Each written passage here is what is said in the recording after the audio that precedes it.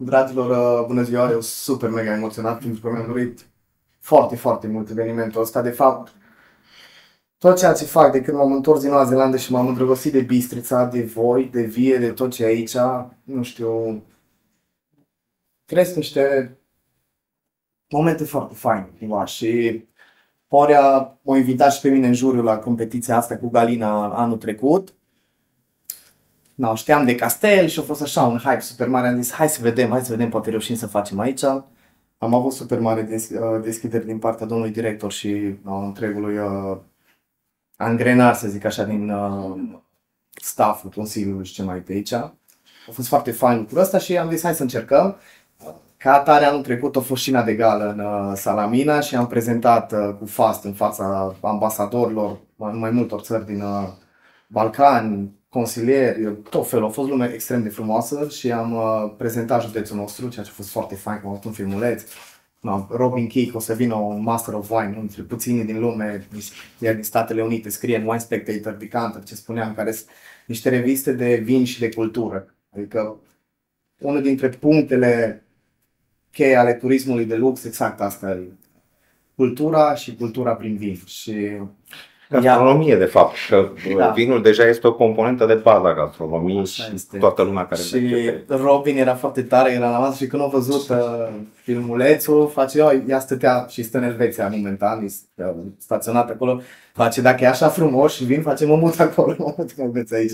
E că a fost un, uh, un sentiment de mândrie extrem de frumos și uh, no, ne-am mobilizat ca să aducem competiția asta aici. O să fie peste 1000 de vinuri în competiție din Italia, din Ungaria, din Macedonia, din Serbia, din Turcia, din România, din Bulgaria, din Ia. o grămadă de țări, o să fie foarte... Albania Și vin- chiar. Vin oamenii ăștia care, pe care altfel nu aș fi putut să-i aduc în județul ăsta. N- N-am fi avut cum să vină uh, toți oamenii ăștia foarte faini care au să scrie și care, practic, vă mai fac o paranteză, comerțul global și uh, brand equity, puterea asta de a povesti și de a decide care poveste e bună și câștigătoare și care nu, aparține în continuare anglosaxonilor. Nance și altele, dar în principal e o mână destul de strânsă acolo. Și faptul că avem niște oameni cheie care pot să vină aici și să ne ducă poveștile astea mai departe, e un lucru care, e o oportunitate care nu vine în fiecare zi. Și nici poate la decenii vine ceva de genul ăsta. Um, ca atare e ceva foarte fain pentru toată lumea și care trebuie să, eu cred că va fi un motor important pentru dezvoltarea mai rapidă, mai rapidă decât am făcut până acum a zonei și a, a poveștilor de aici pe care le descoperim constant, adică găsești niște lucruri foarte faine. Mai fac o paranteză mișto de... Eu am găsit o bogăție foarte mare aici, ca să mă înțelegeți. Pentru mine vinul asta e, adică e carte, e, e muzica de aici, sunt o grămadă de chestii în astea, bucătăria pe care o găsești, oamenii care nas lucruri constant. E foarte fain în revista Bistrița, aici am găsit acum în 1500 de preotul din Jelna, din Thomas, nu știu cum, care era școlit la Cracovia și la Viena. O să găsiți asta. Probabil că aveți acces la la revista asta. Și și acolo vorbeau de vin, de prețul pe care îl puneau pe vin. Și nu, eu acum am restaurat ac- acum un an, ca un an cu fostului vinificator de acum 200 de ani. Și văd așa un sentiment fain de continuitate și faptul că putem să ducem lucrurile astea în, în față.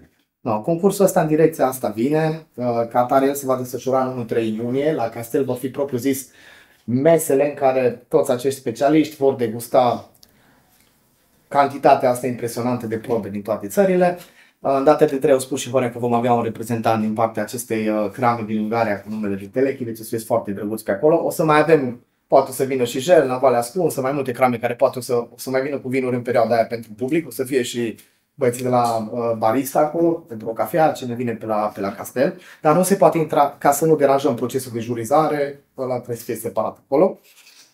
În data de 3 avem cina de gală, în care vom uh, anunța cel mai bun vin, trofeu de pe fiecare țară și pe categorie de vin iarăși. Um, și aceea am, ne-am orientat către Metropolis ca să putem să dăm șansa comunității să ni se alăture într-un număr cât mai mare la evenimentul ăsta. Cine vrea să vină, sunt invitații care se, uh, se pot cumpăra, pot să primesc eu mail, poate să primească Galina pe mail ei și uh, putem avea acces și la, și la evenimentul ăsta și după aia cred că cel mai frumos o să fie dacă avem și vreme bună să fie la, la muzeu pe 4 iunie între ora uh, 12 și 20 în care o să aducem zeci de vinuri din fiecare țară de care v-am spus mai înainte. Uh, o să fie o taxă modică de intrare și se pot degusta toate vinurile astea. Cred că o să vină și Bogdan de la Turma, o să avem și o vită. Încet, încet să mergem pe...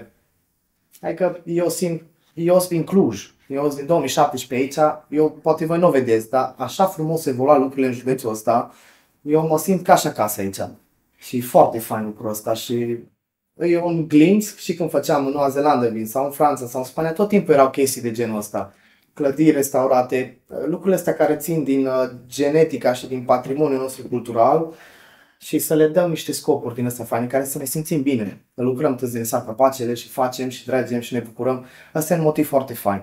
Și nu știu când o să mai fie ocazia asta să vină cineva să aibă vinuri din uh, toate țările astea, la o aruncătură de băți și să poți să și mănânci, să stai și comunitate faină, să, să ți le și explice cineva, să și înțelegi ce bei și na.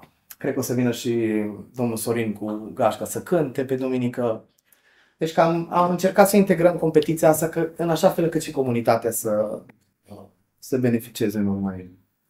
Uh, o să revin eu puțin pentru că până acum v-am spus uh, și mie mi-a spus, dar spune povești că tu știi, tu știi să spui poveștile. Da. Tu uh, trebuie să vă spun aici câteva date tehnice. Până la urmă se mai desfășoară concursuri de vin în România. N-ar fi primul concurs de vin care se desfășoară în România.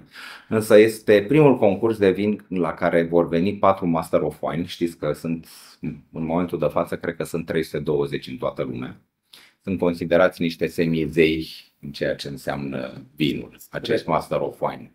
Este o școală foarte dură pentru a obține această titulatură, o școală care presupune undeva la patru ani inițial ca să ajungi la diploma WSET, Wine and Spirit Education Trust, ca să uh, detaliem ce înseamnă acest WSET uh, și de-abia după aceea, nu mai având această diplomă deci ultimul grad în WSET, poți accesa Institute of Master of Wine, care înseamnă 2 ani de trudă, dar mai presus de cei 2 ani de trudă, gândiți-vă că în medie, pentru a putea absolvi, un candidat plătește undeva la 250.000 de euro. Nu plătește pentru că acesta ar fi neapărat procesul de școlarizare, însă pentru a cunoaște vinuri din toată lumea, pentru a face excursii, că una este să primești un vin, să-l bei tu la tine acasă, dacă se poate pe balcon cu vecinul la o tablă, și alta este să te duci să bei vinul de acolo de unde apare el. Cel mai bun vin, vă spun din proprie experiență, este cel băut acolo unde este făcut. Pentru acolo ai oamenii care știu să ți-l povestească cel mai bine, acolo ai preparatele cu care să-l asociezi cel mai bine. Până la urmă și vinul acela a fost creat ca o, uh, să spunem, urmare logică a dorinței uh, oamenilor de a-și asocia și de a avea ceva să bea lângă ceea ce deja mâncau.